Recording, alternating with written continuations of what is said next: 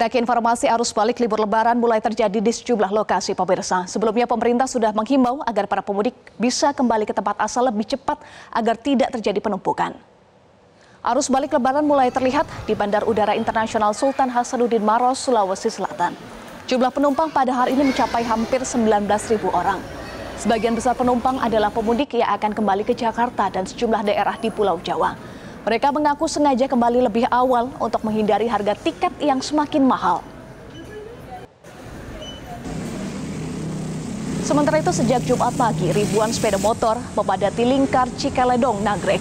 Pemudik datang dari arah Tasikmalaya dan Garut. Para pemudik pulang ke kota asal mereka di Jabodetabek. Meski libur lebaran belum berakhir, pemudik memilih kembali lebih awal karena khawatir terjebak kemacetan.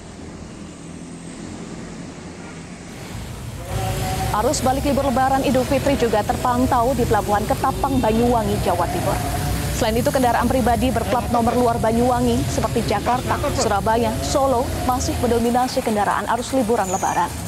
Tampak kendaraan di areal parkir pelabuhan menunggu untuk bongkar muat kapal di dermaga Ketapang.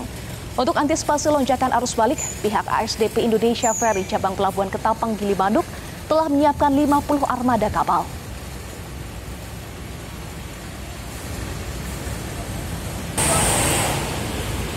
Jelajahi cara baru mendapatkan informasi. Download Metro TV Extend sekarang.